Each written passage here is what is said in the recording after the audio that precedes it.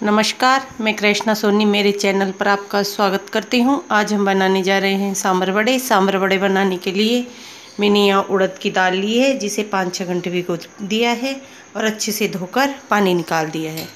और ये मैंने चावल लिए हैं, जिन्हें भी मैंने भिगोकर पानी निकाल दिया है और अच्छे से साफ़ कर लिए हैं।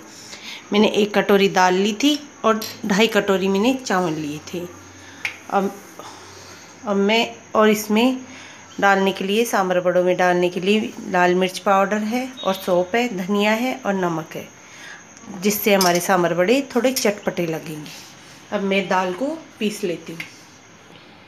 आप जितना कम हो सके इसमें पानी डालना, पानी मत डालना। अगर आप ज़्यादा पानी डालोगे तो हमारा गोल है जो पतला हो जाएगा।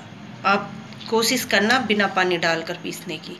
अगर नहीं पीसे तो दोनों को मिक्स करके पीस लेना। इस तरह।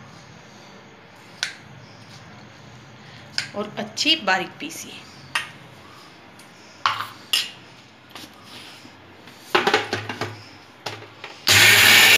और चावल पीस लिए। आप कम से कम पानी डालने की कोशिश करना। अगर ज़्यादा पानी डालोगे तो अपना घोल पतला हो जाएगा।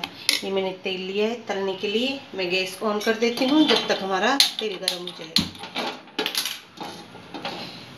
ये मैंने रिफाइंड ऑयल लिया है।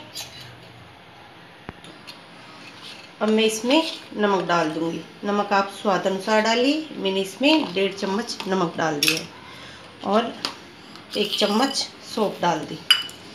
एक चम्मच धनिया पाउडर डाल दिया और एक चम्मच लाल मिर्च पाउडर डाल दी अगर आप लोग कम खाते हैं तो कम डाल दीजिए। और अगर ज़्यादा खाते हैं तो ज़्यादा डाल लीजिए। और ये मैंने सांभर बड़ा बनाने की मशीन है। इससे मैं सांभर बड़े बनाऊँगी। ये देखिए। अच्छे से इसे मिला लेंगे।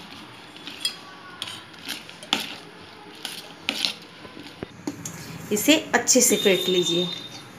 इस तरह अच्छे से फेंट लीजिए ताकि ये अच्छे से मिल जाए। सारे इसको बैटर को हम साँची में डाल लेंगे।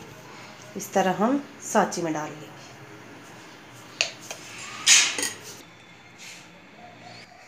ये हमने बैटर भर लिया है इसके अंदर, साँचों के अंदर, और तेल हमारा गर्म हो गया है। ना ज़्यादा तेज़ गर्म और ना कम गर्म। ये देखिए, अब इस तरह दबा दबा कर हम बड़े निकालेंगे। इस तरह।